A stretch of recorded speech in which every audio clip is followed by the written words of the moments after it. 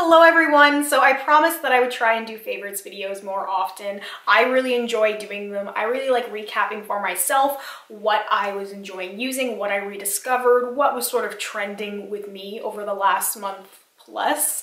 Some of these products will be repeat products, although I did try and cut back on some of the repeat mentions just so that it would be a little bit more interesting to watch. But if you have any questions, comments, concerns, as always, please leave them for me down below and I will get back to you as soon as I possibly can. So I'm just gonna start with skincare. I have two skincare items. Both are from Good Molecules. The first one is one that I mentioned last time, and this is the Discoloration Correcting Serum. This is the serum that is supposed to target hyperpigmentation and promote an even skin tone. I've been using it now since August. It is now the beginning days of November and I love this. I have the tiniest little bit left because I've been using it really consistently. I use it in the morning and in the evening. Sometimes I do opt for a different serum or something else, but this has been my absolute favorite.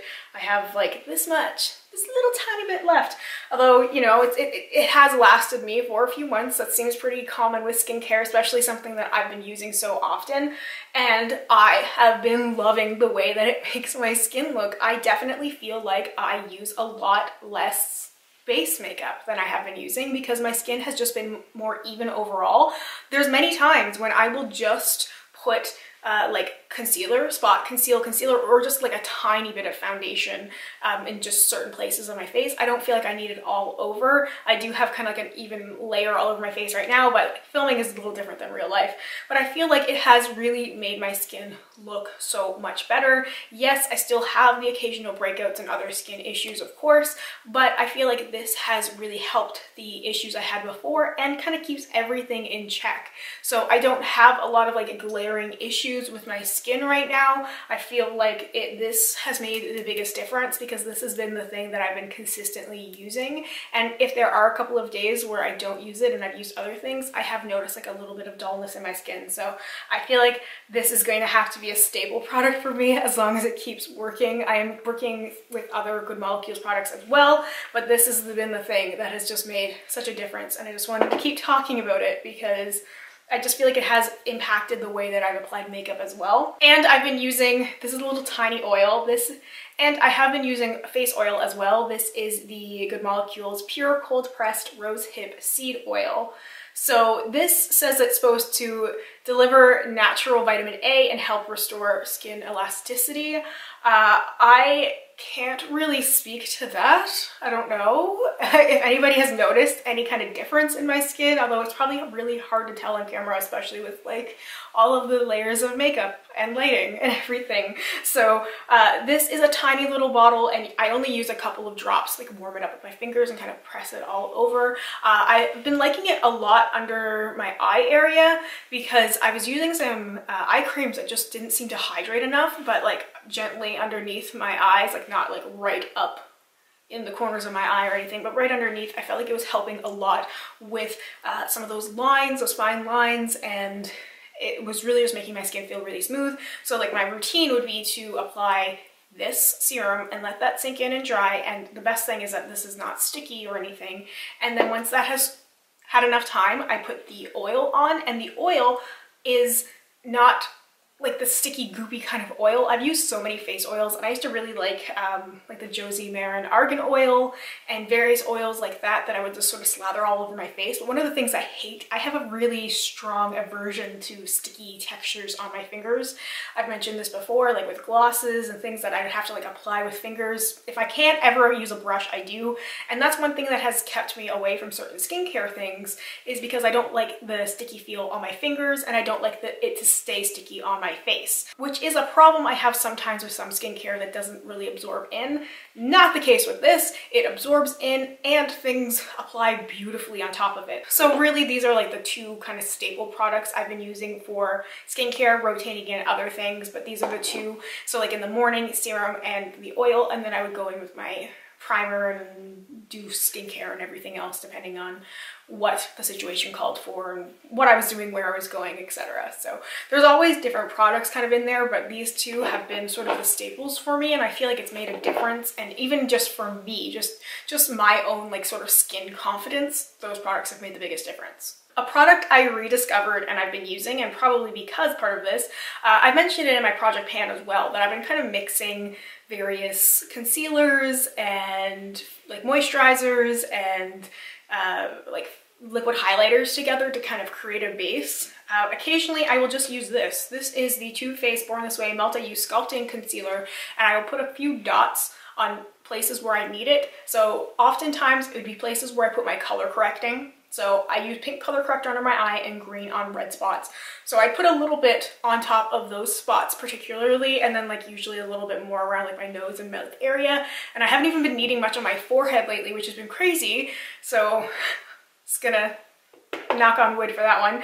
But I would just use, you know, a few little dots on my face and blend it out and I just mean a few tiny little dots and really blend it out. And it is a concealer. It is supposed to be meant to be used for concealing, I guess. I think this was sort of like the Too Faced version of the Tarte Shape Tape. I don't really like using this like thickly under my eyes, but I've never been really a big under eye concealer person since I started color correcting because it's made the difference for me, but just a little bit just a little bit to blend out just to kind of, you know, really even out my skin for from the color correcting underneath my eyes because of those those dark circles and then like the few little red spots that I have on my face. So it's what's worked for me and I'm glad to rediscover things and to be able to kind of play with some of the stuff that I already have. So some of these things, like I said, rediscovering. Um, let's talk about, well I have two eyeshadow palettes. Uh, I'll start with this big one, I guess. This is from e.l.f. This is the Retro Paradise eyeshadow palette. This is so beautiful. It took me by such surprise.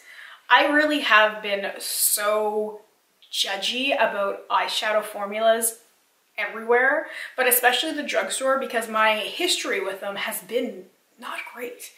And I haven't tried anything for a while, but I was really just basing my opinion off of what I tried in the past. So I have a makeup fairy godmother, shall we say. She is such a wonderful, amazing person, such a good friend, and she has sent me a few things over the last couple of months, and this was one of the things. And I couldn't believe it. The first time I used this palette, I couldn't believe it. And this has been one of the palettes that I reach for on a more daily basis because it is inspiring. It has those gold sort of shades that I really love. It has those like beautiful orange tones, which I like, but it also has some blues so I can have a little bit of color in there. And it just makes really simple, easy eye looks. Right now I have this shade, uh, which is Pariso all over my lid. And it honestly, I'm not just saying this, it gives me Natasha Denona vibes. And I, that's my benchmark for everything. And I know you're probably thinking like an e.l.f. eyeshadow, okay, right. But this is the shadow. Like this is applied, just a finger swatch. Like my, my, there's no primer on my hand. My hand is not wet. Like I'll just, I'll, I will do a live swatch, like right here. My, my hand is not, the back of my hand is not wet. There's nothing going on there, you know? It's just, this is how beautiful this shadow actually is. It blows my mind. I can't believe it. And there's a bunch of unique shadows in here. Okay, so I swatched a couple of the matte shades and a couple of the more like shimmery shades in this. I did swipe, swipe, well swatch and swipe Pariso twice there. But even the mattes are good. Like this is, it's usually like, well, you know, the shimmers are good and usually like, most brands have good shimmers and if they're not good you can make them work with glitter glue with fix plus whatever. I don't need the fix plus. I don't need the glitter glue with these shimmery shades and the mattes they aren't chalky. There's not a lot of fallout. They wear really well. Like i'm constantly impressed. Like i can't get over how beautiful these are and like if I feel like if it was some sort of like a blind te uh, testing I know you can't it's not like the same thing as like doing a Coke versus Pepsi thing but like if I was looking at the swatches on somebody else's arm and I didn't know where it came from like I never would have guessed this was an e.l.f. eyeshadow palette so I've been very impressed with this. This is what's on my eyes right now with a little bit of a Kaleidos highlighter, just kind of like on the outer portion of it, but mostly it's this palette. I used the orange and I used the white sparkly shade and I used the Pariso shade and I think I used a little bit of Spice the Red as well.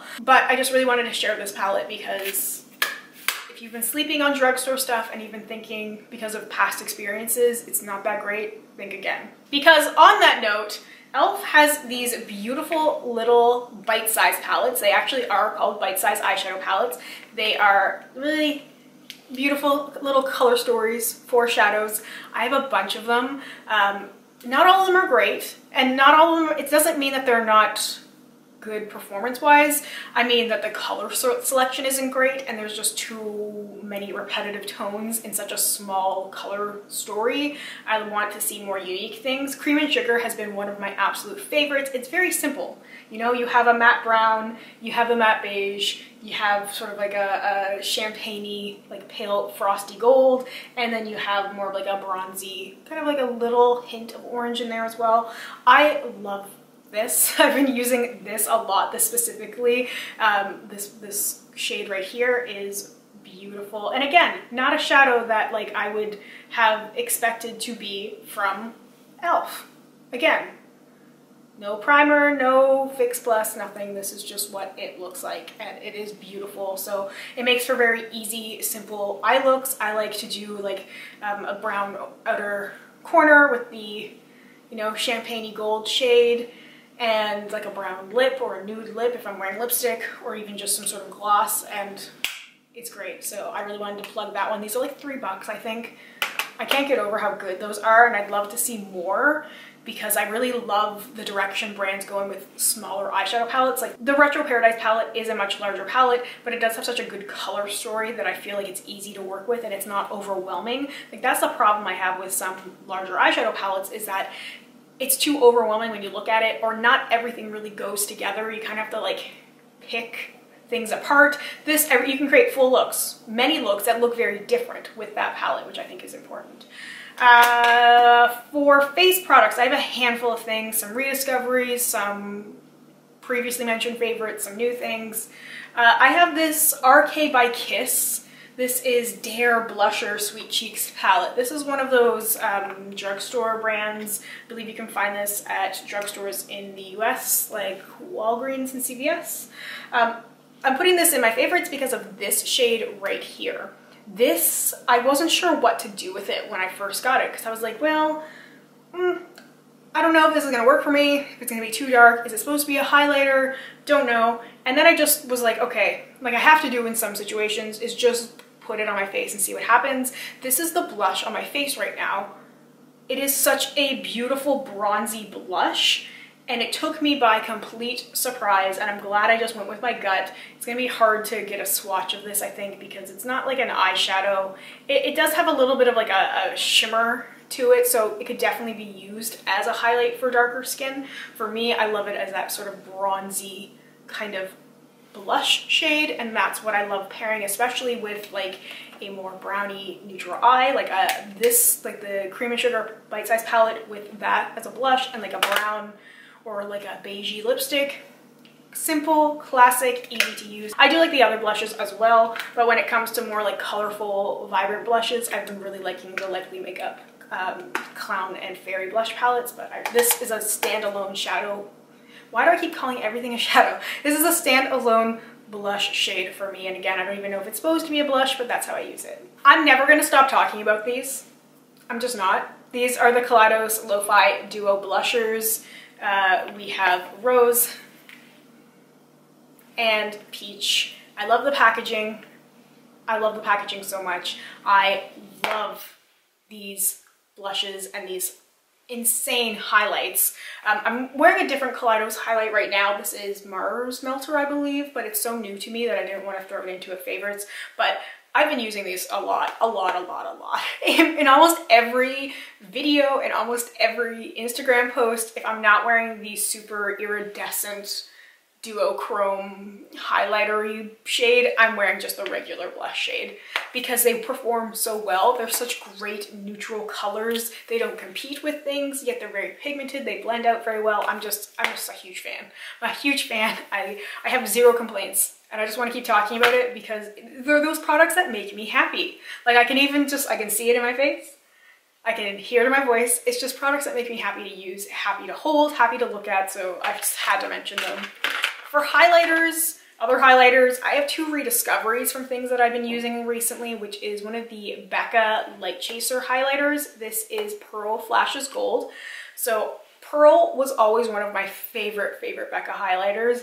And Pearl Flashes Gold is beautiful because you can definitely make it really dark, stark, like gold stripey kind of highlight, which is what it would look like on, on fair skin. Or you can blend it out a little bit more and you really have that beautiful reflect of the, the gold and the pearl shade. I feel like it works really well, especially when I pair it with more of a warm golden eye, because a lot of the times I like more of a silvery sort of lighter, more cool toned highlight depending on what I'm doing. Sometimes even with a warmer eye, I like the cooler tones, but sometimes I just don't like more of a silvery pearlescent highlight if I have a really warm gold eye, which is one thing that I really love. I love gold eyeshadow so much. I love gold. And with a gold eyeshadow, like gold, metallic gold everywhere, and then like a pearly highlight, I don't really like the way that that goes together. So I like to mix in just a little bit of gold with it. And this has been a great rediscovery because it works so well.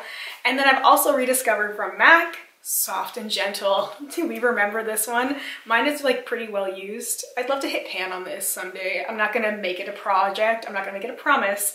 I'm just rediscovering this beautiful soft and gentle OG highlight, this beautiful like soft champagne shade. Probably not even gonna be able to see it very much here. It is really subtle compared to the more blinding, iridescent, show-stopping kind of highlights but again, for very neutral looks, it works very well. Or when I just don't want anything to compete.